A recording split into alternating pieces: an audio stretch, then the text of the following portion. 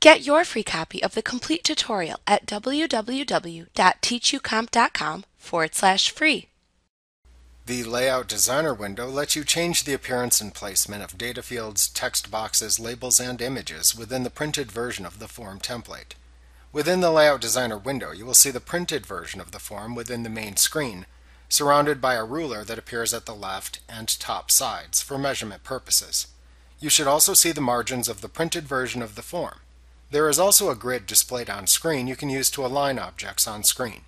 You can scroll the content within the window to view the objects within the printed version of the form template.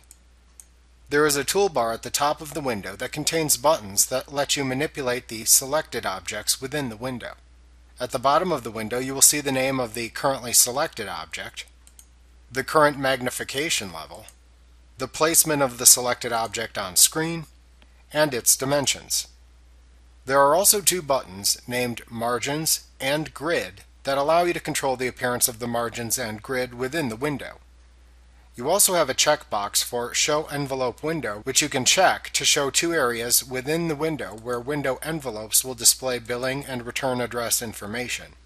This can assist you in placing that data within the correct areas in the form if you intend to use window envelopes for mailing these forms.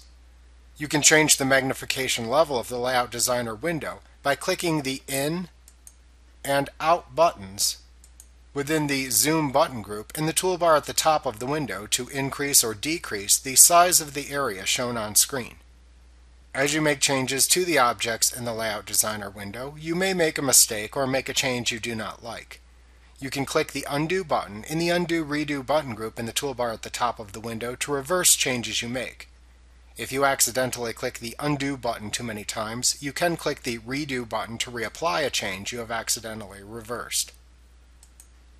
After making changes within this window, you can then click the OK button at the bottom of the window to save the layout changes and return to either the basic customization or additional customization window, depending on which window you were previously viewing before you clicked the Layout Designer button.